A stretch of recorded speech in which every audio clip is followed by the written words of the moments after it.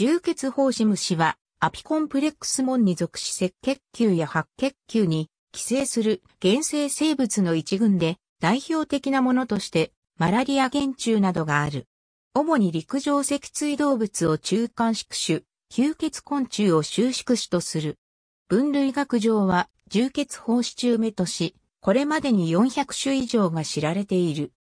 基本的には、国死獣無類と似た特徴を持っているが、常に宿主動物の体内に止まり、環境中に出ることがないため、壁に包まれ、環境体制を示す、いわゆる、胞子の状態がない。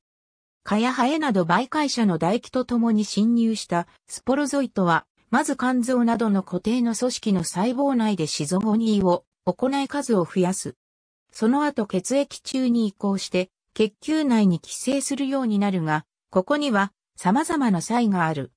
媒介者が吸血することによって生殖母体が媒介者に移り、消化管内で配偶子を生じて有性生殖が行われる。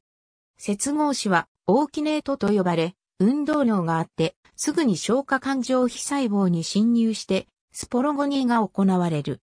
これは、原数分裂を含む他のアピコンプレクサ類の胞子形成に対応した過程ではあるが、オーシストは薄い膜に包まれているだけで、すぐに破裂してスポロゾイトを放出する。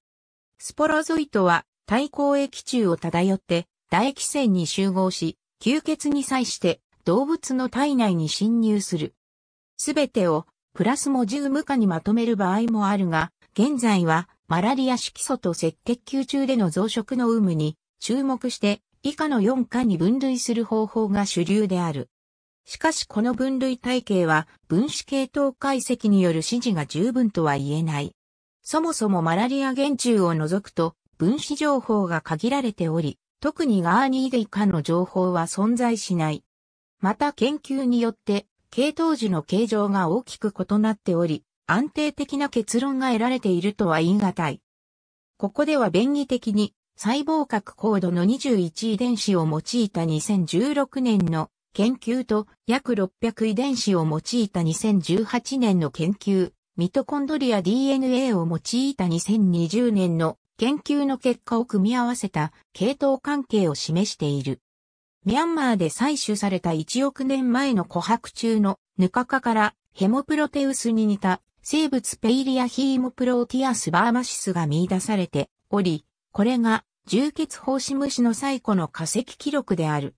しかし、分子系統解析による分岐年代推定によれば、原生の重血胞子虫の最近共通祖先は、中心よ、おおよそ1600万年前にいたと考えられている。